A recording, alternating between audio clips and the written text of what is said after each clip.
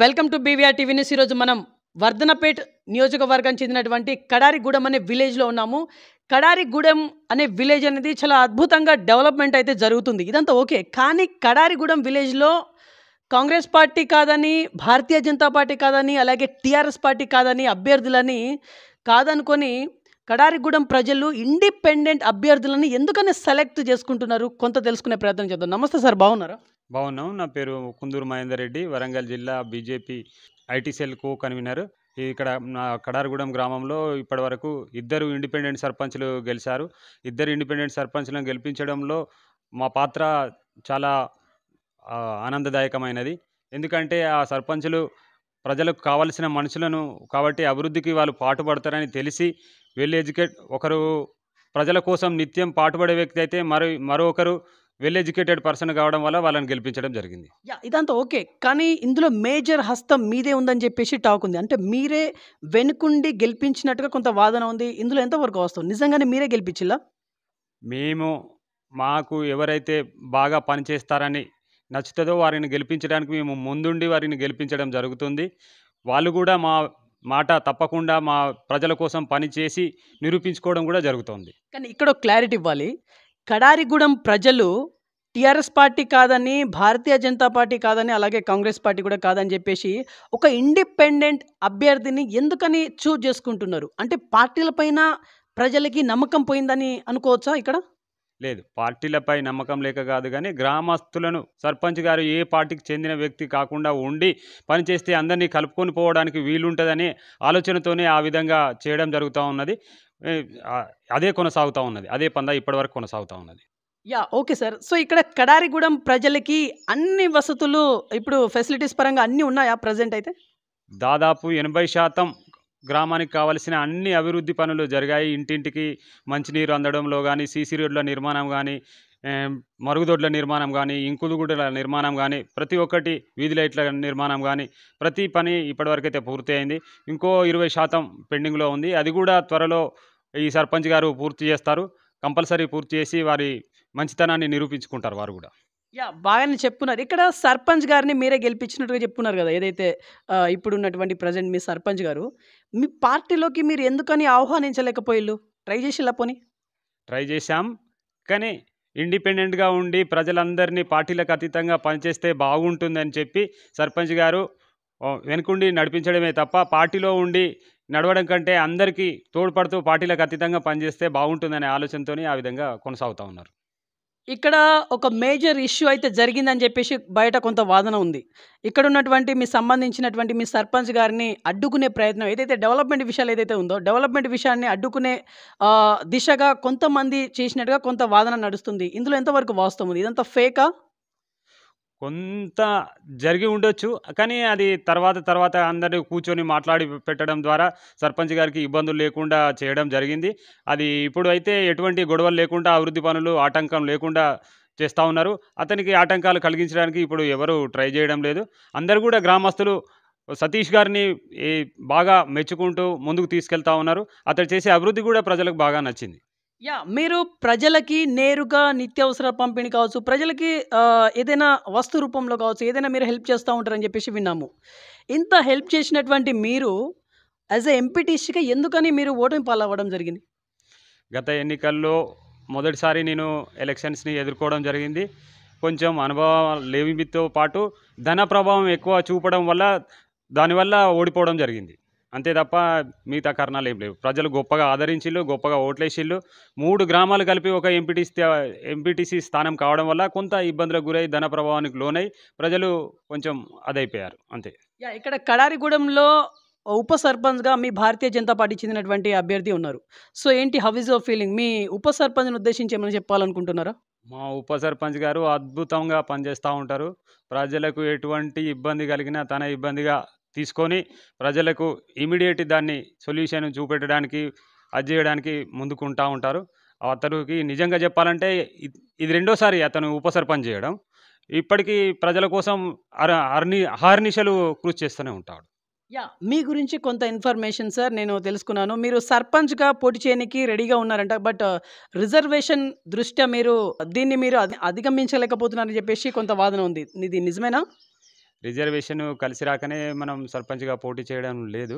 వచ్చే ఎన్నికల్లో మా అదృష్టం బాగుండి రిజర్వేషన్‌లు కలిసొస్తే ప్రజలందరూ నాకు తోడందించి ముందుకెళ్ళాలని నా గ్రామ ప్రజలందరూ తోడ్పడితే కంపల్సరీ నేను సర్పంచ్‌గా పోటీ చేసి గెలుస్తాను. ప్రజలందరి అభివృద్ధి కోసం పాటుపడతాను. ఒక ఎంపీటీసీగానే మీరు గెలవలేకపోయిల్లు. సర్పంచ్‌గా ఎలా గెలుస్తారు? స్ట్రెయిట్ క్వెషన్ ఒక ఆన్సర్ ఇవ్వండి. 3 గ్రామాలు కలిపి ఒక ఎంపీటీసీ స్థానం కావడం వల్ల కొంచెం కమ్యూనికేషన్స్, ఈక్వేషన్స్ తప్పుగా జరిగినాయి. మా గ్రామంలో కంపల్సరీ నేను సర్పంచ్ గెలుస్తాను. నా ప్రజలు నన్ను గెలిపించి నాకు నేను చేసిన సేవకు గుర్తింపునిస్తారు కంపల్సరీ. సార్ కుందూరు మహేందర్ రెడ్డికి ఎందుకని ఓట్లేయాలి? ఎందుకు మీకే ఓట్లేయాలి? వేరే వాళ్ళకి వేయొచ్చు గదా! అంటే మీరు అంత స్పెషలైజేషనా? స్పెషలైజేషన్ అంటూ ఏమీ లేదు.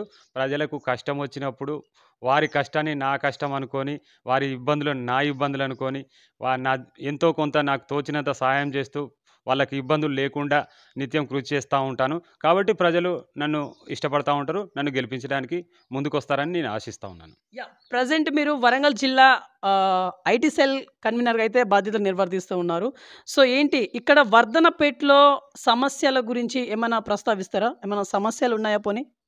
వర్ధనపేట మండలంలో చాలా సమస్యలు ఉన్నాయి చాలా గ్రామాలలో ఆగా ఇప్పుడు ఉన్న ఎమ్మెల్యే గారు ఆ గ్రామాల సమస్యలను పట్టించుకోవడం లేదు. చాలా సార్లు వాళ్ళ దృష్టికి తీసుకెళ్ళాం.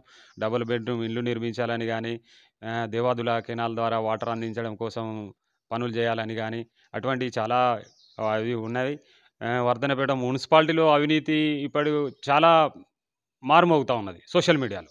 కానీ దాన్ని ఎమ్మెల్యే గారు ఇప్పటివరకు పట్టించుకోవడం లేదు. దాని మీద మేము ఎన్ని పోరాటాలు చేసినా కూడా కలెక్టర్ గారు కానీ జాయింట్ కలెక్టర్ గారు కానీ ఎవరు స్పందించడం లేదు. ఆ మున్సిపాలిటీ గురించి, ఆ మున్సిపాలిటీలో జరుగుతున్న అవినీతి అక్రమాలను వెంటనే నిలిపే విధంగా చర్యలు చేపట్టాలని అధికార యంత్రాంగాన్ని మరియు ప్రభుత్వాన్ని డిమాండ్ చేస్తా ఉన్నాను.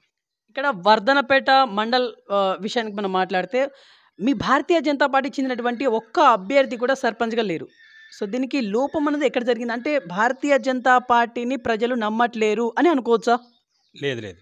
వర్ధనపేటలో గతంలో దాదాపు కనీసం ఒక 5, 6 గ్రామాల సర్పంచులు ఉండి ఉండే.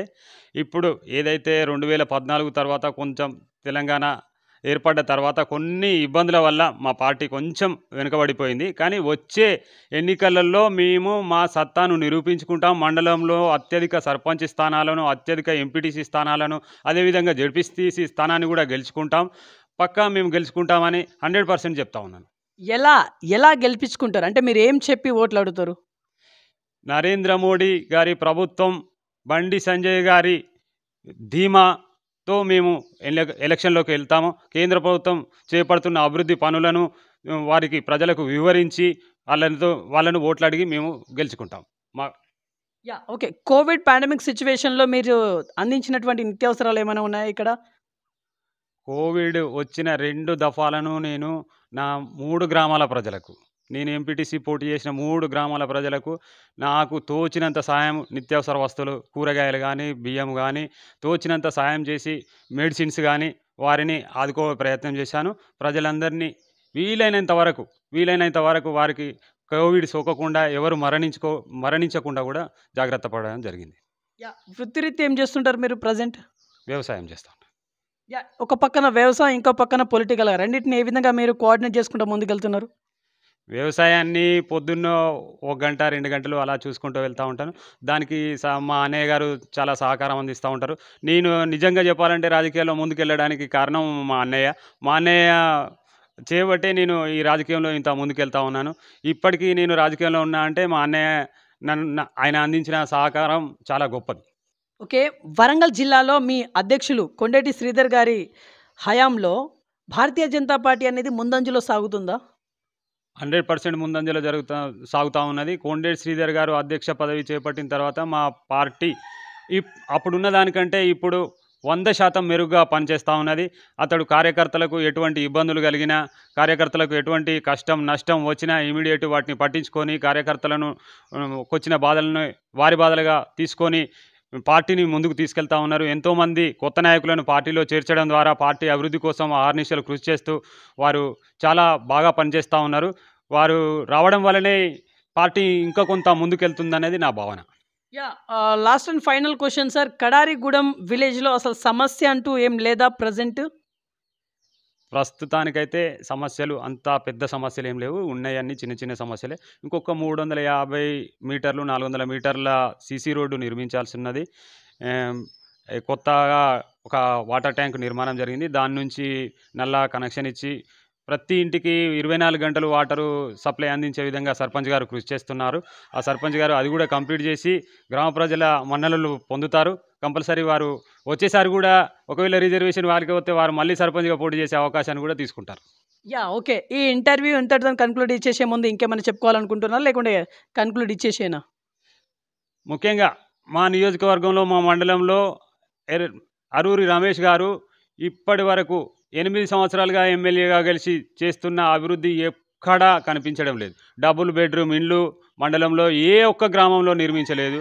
దేవాదుల వాటరు తెస్తానని చెప్పి ఇప్పటి వరకు దేవాదుల వాటరు వర్ధనపేట చెరువులో కానీ ఇల్లంద చెరువులో కానీ కడారుగూడెం చెరువులో కానీ నీరు తీసుకురావడంలో విఫలమయ్యారు.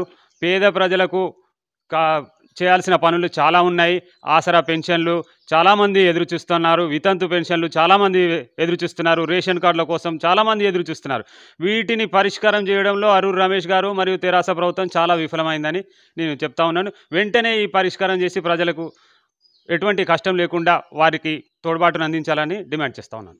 Okay sir. సో ఇదండి ఈ వారము కుందూరు మహేందర్ రెడ్డి గారితో ముఖాముఖి నిర్వర్తించారు. నెక్స్ట్ వీక్ మరొక ఇంట్రెస్టింగ్ మరియు ఇంపార్టెంట్ మీ ముందుకు వచ్చాం. చూస్తున్నాను బీవీఆర్ టీవీ న్యూస్ అంటే then bye bye take care